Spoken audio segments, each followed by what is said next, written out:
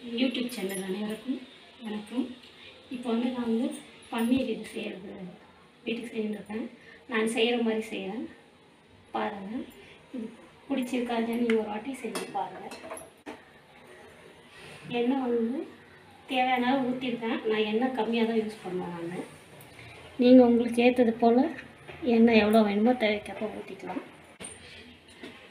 இப்போ எண்ணெய் காஞ்சிடுச்சு காஞ்சோடனே ஒரு அரை- ஸ்பூன் வந்து சோம்பு போட்டுக்கிறேன் கால் டீஸ்பூன் வந்து சீரகம். இது பொரிஞ்சோடனே வெங்காயம் வந்து பொடிசாக வெட்டி வச்சுருக்கேன். அதையும் போட்டுக்கிறேன்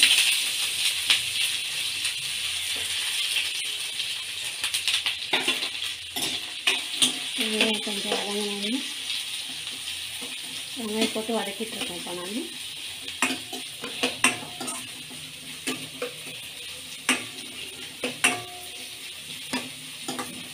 வதக்கிட்டு அது கூட ரெண்டு கருவேப்பிலை சேர்த்துட்ருக்குறேன் வெங்காயம் கொஞ்சம் வதங்கட்டும் பாருங்க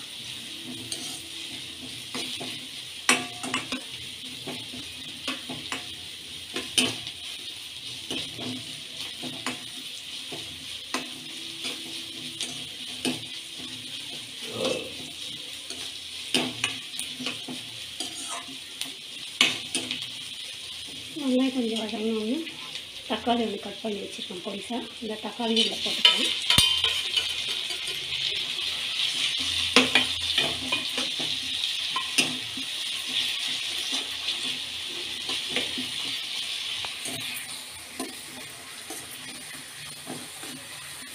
தக்காளி போட்டு நல்லா வதக்கிட்டு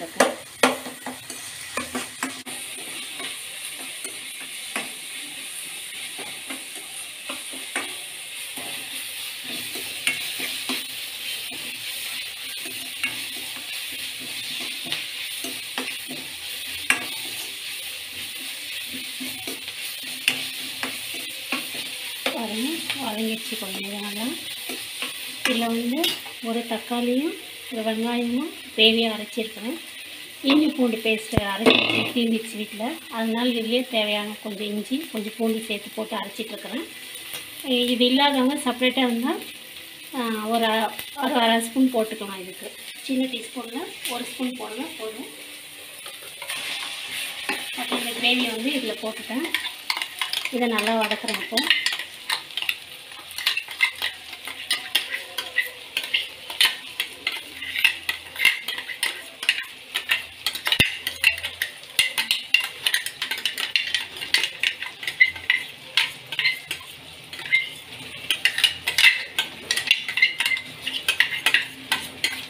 இந்த இஞ்சி பூண்டு தக்காளி வெங்காயம் இந்த பச்சை வடைலாம் போட்டு நல்லா இதை வதக்கிக்கணும்.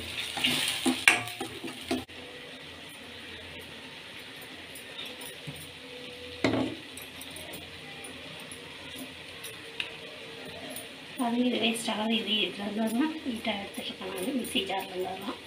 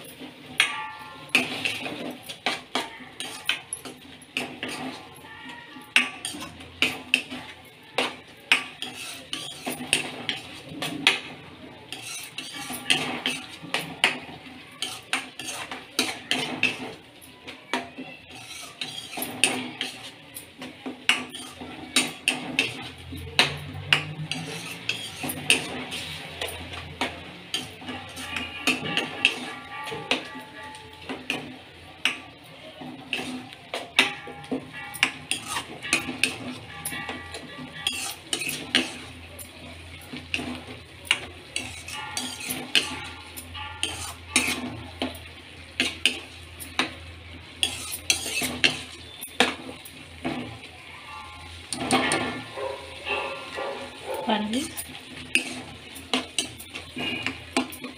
இது பச்சை வடை போயிடுச்சு இப்போ இதுக்கு தேவையான மஞ்சள் பொடி.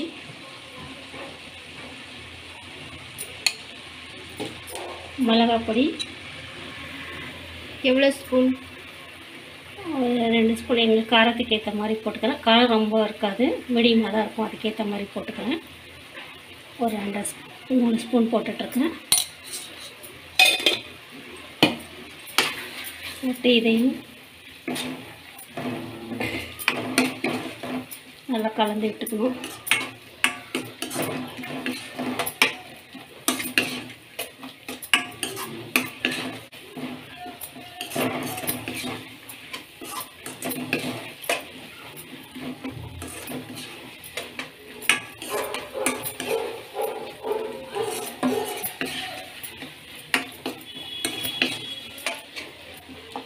மிளகாப்பொடியில் வந்து நான் தனியா பொடி எல்லாம் சேர்த்தே போட்டு அரைச்சிட்ருப்பேன். அதனால் ரெண்டும் ஒன்றா சேர்த்து அரைச்சிருக்கிறதுனால நான் போட்டுட்டேன். தனித்தனியாக இருக்கிறவங்க உங்களுக்கு எவ்வளோ காரம் வேணுமோ மிளகாப்பொடி தனியாப்பொடி எவ்வளோ தனியா பொடி எவ்வளோ உங்களுக்கு அதுக்கேற்ற மாதிரி போட்டுக்கலாம். இது காரம் ஆக்சுவலாக இது காரம் ரொம்ப வரக்கூடாது. இந்த தக்காளி கிரேவி எவ்வளோ நம்ம இது போட்டிருக்கோமோ அந்த புளிப்புக்கு ஏற்ற மாதிரி தான் காரம் போட்டுக்கணும். பன்னீர் வணங்கிடுச்சு இந்த அரைச்சி வச்சுக்க இந்த மிக்ஸி ஜாரோட தண்ணி கொஞ்சம் கழுவுனது அதையும் ஊற்றிக்கிறேன் மிச்சம் இதுக்கு தண்ணி தேவையான அளவு தண்ணி ஊற்றிருக்கேன் இது கொதித்து வரணும் இப்போது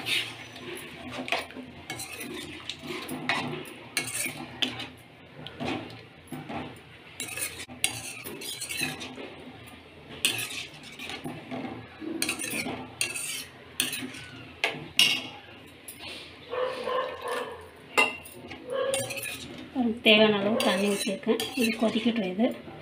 இதில் இப்போ வந்து உப்பு சேர்த்துக்கணும் நான் வந்து கல் உப்பு தான் போடுவேன் நான். சால்ட்டை யூஸ் பண்ணுறதில்ல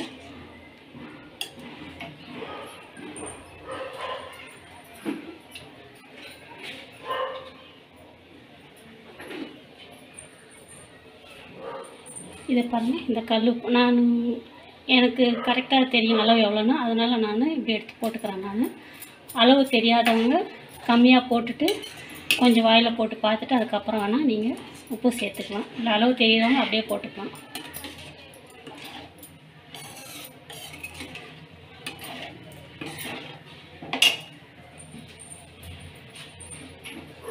பூரி செய்ய போகிறேன் பூரி பசங்களுக்கு பூரி செய்து கொடுக்க போகிறேன் வீட்டுக்காருக்கு சப்பாத்தி டயபெட்டிக் பேஷண்ட்டு அதனால் அவருக்கு சப்பாத்தி போட போகிறேன் எண்ணெய் பொருள் காலையில் வேண்டான்ட்டு சப்பாத்தி கொடுக்க போகிறேன் அண்ட் மக்களே எங்கள் அப்பா டயபெட்டிக் பேஷண்ட் மட்டும் இல்லை so I mean heart patient அதனால் ஆயில் பொருட்களெல்லாம் தவிர்க்கிறதுனால அவங்களுக்கு சப்பாத்தி அண்ட் எங்களுக்கு பூரி.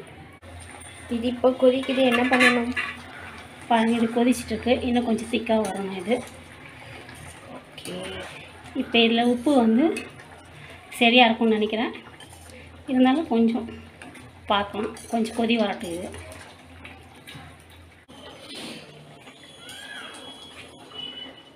ஒரு பாருங்க, இன்னும் கொஞ்சம் திக்காக வரணும்.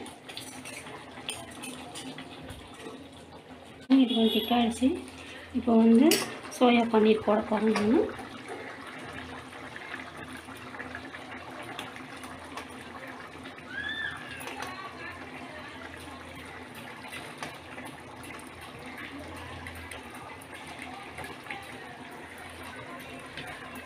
போட்டுட்டு ரொம்ப கிளறி விடுறேன் ஏன் கலரக்கூடாது உடஞ்சி உடஞ்சிரும். இது ஏன்னா இது நம்ம எண்ணெயில் பொரிச்சு எடுக்கல. அப்படியே பச்சையாக தான் போட்டிருக்கோம். ஆனால் ரொம்ப கலர்னிங்கன்னா உடஞ்சிரும். அதனால் போட்டு சும்மா லைட்டாக அப்படி பண்ணால் போதும். அந்த சூட்லேயே வந்து இது வெந்துடும் இது. இப்போ இது கூட வந்து நான் வந்து கொத்தமல்லி தலை போட போகிறேன் கொத்தமல்லி தலை போட்டுட்டு இறக்கிட போகிறோம் நான் இப்போ வந்து ஸ்டவ்வை இறக்கிட போகிறேன் நான் ஒரு ரெண்டு நிமிஷம் கொதிக்க விட்டுட்டு ஆஃப் பண்ண போகிறேன் ஸ்டவ் பாருங்கள் சோயா பன்னீர் பண்ணிட்டு இப்போ பூரிக்கு தேய்ச்சி வச்சுருக்கிறேன். இந்த பூரி பாருங்கள் மாவு. மாவு நம்ம தொட்டு தேய்க்கிறோம் இல்லைங்களா அந்த தேய்ச்சி வச்சுருக்க மாவு இப்போ இதெல்லாம் தட்டி விட்டுறேன் அந்த மாவெல்லாம் இருக்காது. ஏன்னா நம்ம எண்ணெயில் போட்டோம்னாக்கா கருப்பாக கீழே தேங்கி நிற்கும் பாருங்கள் அந்த மாவெல்லாம். அது மாதிரி வராத இருக்கிறதுக்கு இப்போ நான் வந்து இதெல்லாம் தட்டிட்டு வச்சுருக்கிறேன். இந்த இந்த மாதிரி. இந்த மாதிரி சும்மா நீங்கள் கையில் இப்படி தட்டி விட்டாலே அந்த மாவு போயிடும். அப்புறம் வந்து பூரிக்கு வந்து நம்ம ரொம்ப மெல்லிசாக தேய்க்கக்கூடாது. கொஞ்சம் ஓரளவுக்கு திக்காக அது மாதிரி தேய்ச்சாக்கா பூரி போட்டோம்னா கொஞ்சம் உப்பி வரும். ஏன்னா காஞ்சிச்சு இப்போ பூரி போடுறோம் பாருங்கள் ஒரு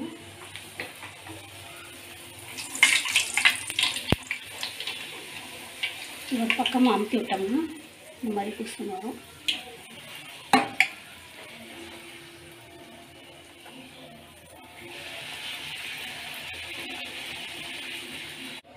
பாருங்கள் அந்த கீழே கருப்பெல்லாம் தேங்கி நிற்காது இது நம்ம அந்த மாவு தட்டி விட்டதுனால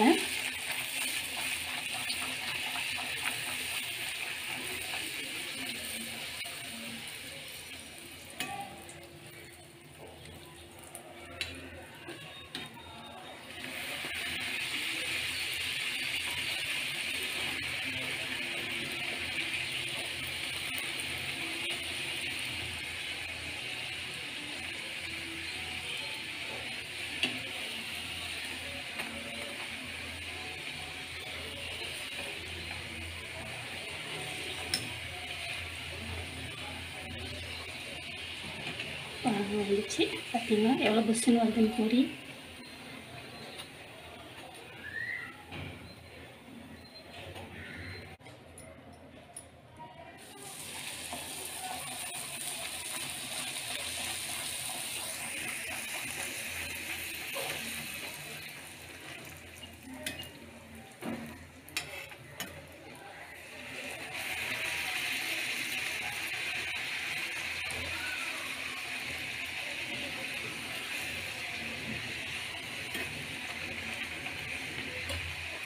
பாருங்கள் பூரி இது இப்படி செஞ்சு சாப்பிட்டு பாருங்கள் சுவையாக இருக்கும் ரொம்ப அருமையாக இருக்கும்.